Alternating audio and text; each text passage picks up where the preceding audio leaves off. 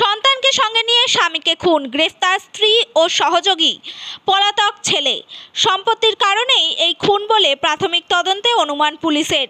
খুনের পর সোনারপুরের খেয়াদহ দুই পঞ্চায়েতের একটি জলাশয়ে বস্তাবন্দি করে ফেলে যায় দেহ। বাইশে অক্টোবর অষ্টমীর দিন জলাশয় থেকে বস্তাবন্দি দেহ উদ্ধার হয়।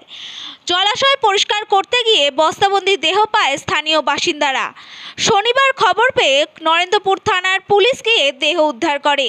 ভাঙর থানা এলাকার মাধবপুরের বাসিন্দা রহমান গায়নের নামে কিছু জমি জমা ছিল। তাই তিনি তা তার স্ত্রী সন্তানকে না দিয়ে বিক্রি করছিলেন। সেই নিয়েই পারিবারিক বিবাদ।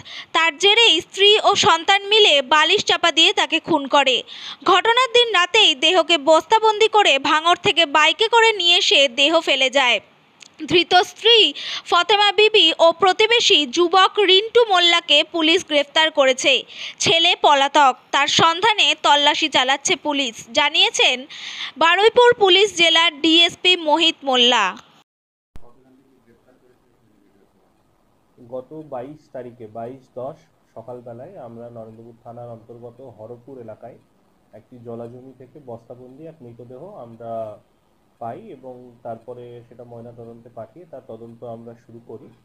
এখনও পর্যন্ত এই ঘটনায় আমরা দুজনকে অ্যারেস্ট করেছি এবং তাদেরকে কোর্টে পাঠানো হবে। একজনের নাম রিন্টু মোল্লা আর একজনের নাম ফতেমা বিবি।